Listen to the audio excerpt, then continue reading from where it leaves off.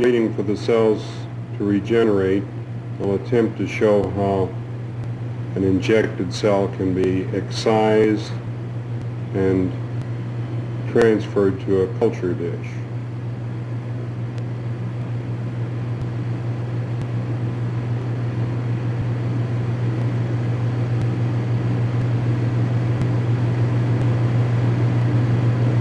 That cell's plugged off.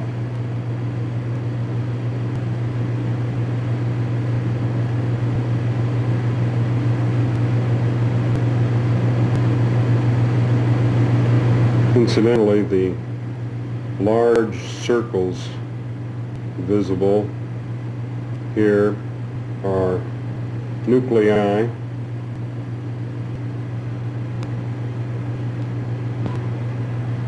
and the smaller ones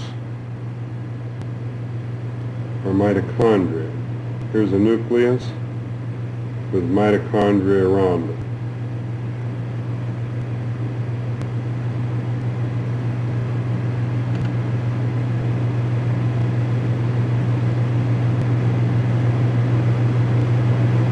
The wall is not quite, there it is, broken.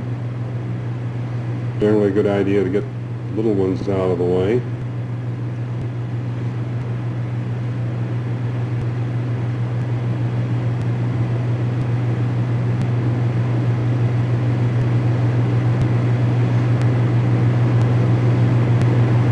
Generally take out two cell sections, sometimes three cell sections. And then kill the ones that are not needed.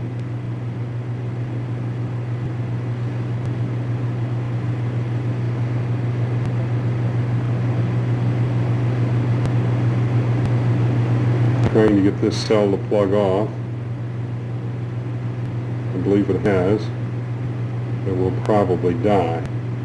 But we would assume that this cell up here would be the one I would be most interested in.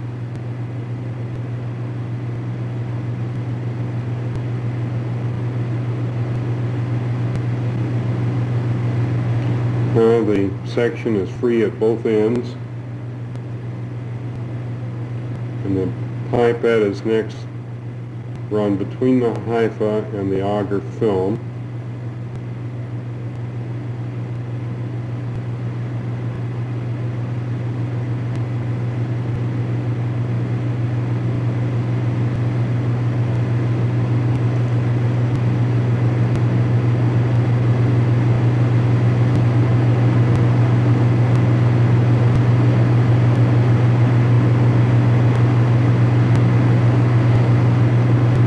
It's now free of the agar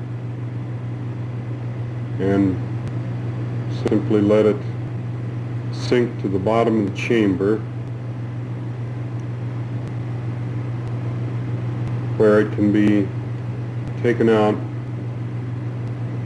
the drawn out pasteur pipette by hand. It's sinking to the bottom. Occasionally gets caught on a hypha hanging down into the chamber. This is on its way